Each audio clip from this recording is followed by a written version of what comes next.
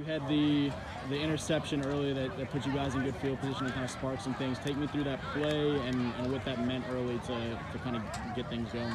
But like like we said, coming out here, we wanted to start off fast, like we did uh, past couple of weeks. We've been preparing for this all week. You know, our preparation is, is second to none. So I feel like that's the result we're gonna get every time. How did you feel about the team's performance overall today? Oh, I feel I feel great. I mean, it's still so like to improve, but um, I felt great about it. Seeing Torey continue to come along on the other side of the ball, what is that like? I, I mean, that's my brother. Like, like I, have been knowing him all my life, so it's great to see him. You know, all this hard work that, that he put in. Like, it's good to see the result like that. The the success that you guys have had, and I mean, this is just, I mean, the latest part of it, but you guys are having a great season so far. What has stood out to you about this team so far this season and, and where y'all are right now and, and, how big are the, the goals now as you keep moving forward with it?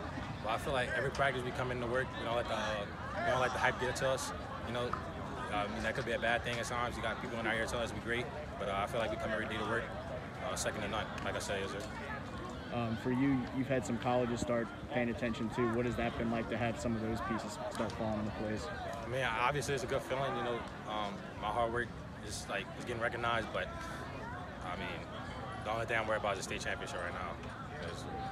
How much do you guys talk about that that goal at the end of? It's been such a weird off season and now different season and stuff. How much do you guys talk about that kind of that potentially big light at the end of the tunnel that, that is um, is getting that much closer if you guys keep playing this way?